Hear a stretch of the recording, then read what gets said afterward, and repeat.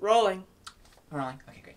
Good evening, everyone. My name is Pfeiffer Wittapee. Sergeant Gibson Venus. Fauzi Patek. Jimmy Dodger. Tequila Wilkinson. And it's my absolute pleasure to be seated here today with Laundry Day's own Henry Pearl. Sawyer Nunes. Henry Weingartner. Etai Abramovich. Jude Ciulla. So, Jude, it's been a long time since your historic senior year of high school in 2019. Yes. Touring with the 1975, touring with Clairo. Hard to top that. Yes. Here's a question. Who are your biggest influences? Well, there's a ton. You know, um, Gronk. Uh-huh.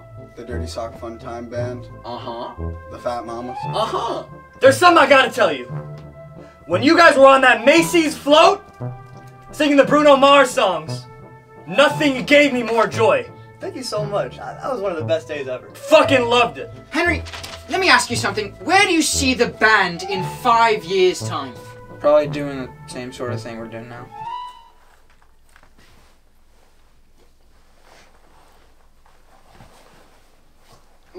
So I see you got this whole big suit thing going on. Yeah, you know, I was kind of going for like a David Byrne kind of thing. Fascinating. You boys all dress so, so well. What can you tell us about fashion? There's really not much to say, to be honest. We all just try to, you know, wear what'll best suit our personalities. Uh, we like looking flashy. We like um, attracting attention on the street. So, um, do you like to play basketball? Um, yeah. Do you like to play baseball? Have I ever told you the story behind me getting this watch? Oh, you you haven't, but that's a lovely bust down. Why, thank you. I, I can't help myself but agree. HP, I need to know. What's next with your hair? um, I don't know. I haven't thought about it yet, living in the present, but I'd really like to talk about the. Do you like ice cream?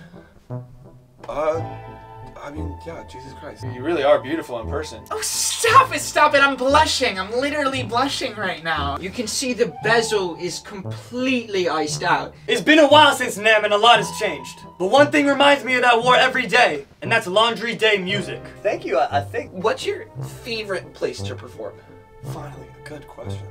Uh, I think I gotta go with New York. Have you ever performed? Have you ever performed at Sagadi's? So, I see you guys are going on tour this spring. How exciting! Yeah, it's, it's very exciting. And of course, we got a couple new songs from you guys in 2021. Does this mean we can expect an album in 2022? It does, Pfeiffer. Our new album, We Switched Bodies, will be out everywhere February 11th, 2022. Here first, folks. Laundry's new album. And our new single, The first song on the album. Did You Sleep Last Night? Comes out January 14th. This Friday.